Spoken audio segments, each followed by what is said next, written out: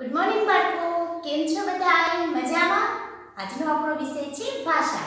ભાષામાં આપણે વ્યંજન જોઈ ગયા, હવે આપણે સ્વર જોઈશું. સ્વરમાં આપણે પહેલા જોયું અ. તો આજે આપણે જોઈશું કે અ થી બનતા શબ્દો. અહીં મેં લખ્યું છે કે તીરની દિશામાં વાંચીને શબ્દો બનાવો.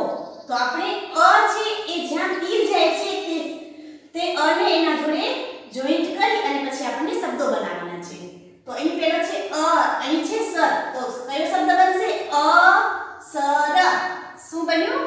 અ, સ, ર. પછી છે અ, ગ, ન. તો શબ્દ બન્યો અ, ગ, ન. પછીનું છે અ, તીર અને રજ તો અ, રજ. અ, રજ. પછી છે અ, તીરની છે પછી છે ટક. તો અ, ટક. પછી છે અ ડ ગ તો શબ્દ બન્યો અ ડ ગ પછીનો છે